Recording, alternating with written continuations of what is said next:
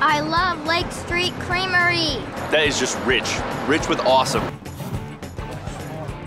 Lake Street Creamery, it's unique ice cream. It's delicious. This is unbelievable. I wish I could have this every day. I'm certain it's very healthy and totally low in calories. Pretty tasty.